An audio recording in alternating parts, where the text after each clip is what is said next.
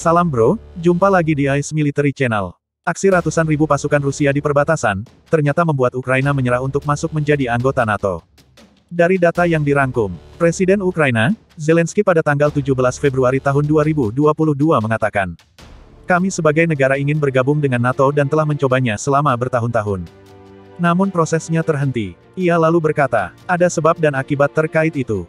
Tidak hanya Rusia yang menolak Ukraina bergabung dengan NATO. Namun ada negara NATO yang tidak setuju dengan keanggotaan Ukraina dengan mendukung Moskow, ucap Zelensky tanpa merinci negara tersebut. Dan hanya berharap, negara tersebut dapat berubah pikiran. Zelensky juga menyebutkan, kami tidak ingin mengambil risiko dengan merusak hubungan diplomatik. Dari data yang dirangkum, terkait pupusnya harapan Ukraina menjadi anggota NATO tersebut. Zelensky menyebutkan, saat ini, warga Ukraina lah yang berhak menentukan masuk atau tidaknya Kiev ke NATO. Namun, untuk sekarang, tampak tidak mungkin melakukan referendum di tengah situasi yang bergejolak di perbatasan. Ini disebabkan jalan menuju NATO dan Uni Eropa sangat panjang. Dan Ukraina perlu jaminan keamanan untuk menempuh proses itu, ucap Zelensky. Bayangkan bro, kira-kira, kalian milih digampar sar bomba abah Putin. Atau mundur selangkah demi keamanan rakyat dan negara. Bagaimana menurut pendapat abah-abah netizen semuanya? Silakan tinggalkan komentar kalian pada kolom pesan di bawah.